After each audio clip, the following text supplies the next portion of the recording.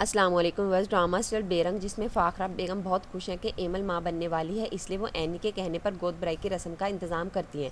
लेकिन एनी को ये भी बता देती हैं कि अगर ये खबर गलत हुई तो अच्छा नहीं होगा। लेकिन जब एनी को एमल की रिपोर्ट्स मिली तो इनमें कुछ और ही निकला। एमल माँ बनने वाली नहीं थी। तो एनी परेशान हो जाती है, वो सारी बात अफान को बता देती है कि रिपोर्ट्स में कुछ और ही आया है। इसी वजह से अब दोनों परेशान हैं। एमल के घर वाले भी फ़ाखरा बेगम से और शहरियार से नाराज़ हैं कि इन्होंने हमारी बेटी के साथ ये सब क्या किया। किया।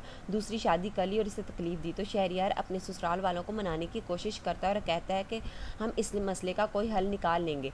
आप परेशान मत हो, लेकिन एमल की वालदा जिन्हें बहुत गुस्सा है, शहरियार पर वो यही कहती हैं कि क्या तुम लोग इस मसले का हल आयमा को तलाक देकर करोगे? लेकिन एमल के वालद नहीं चाहते कि किसी लड़की पर जुल्म हो, इसकी तलाक हो। और इसलिए वो शहरियार को यही समझाते हैं कि इस मसले का कोई और हल निकालो।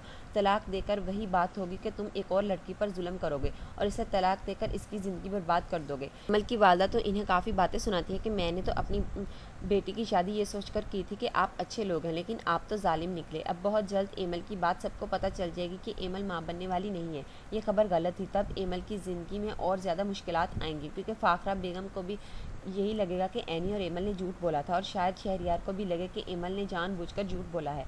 तो व्यूवर्स आपको क्या लगता है कि सच पता लगने पर फ़ाखरा बेगम एमल को घर से निकाल देंगी? अपनी कीमती राय का इजहार सेक्शन में ज़रूर कीजिए। मिलते हैं अगली वीडियो में। तब तक के लिए अल्लाह हाफिज़।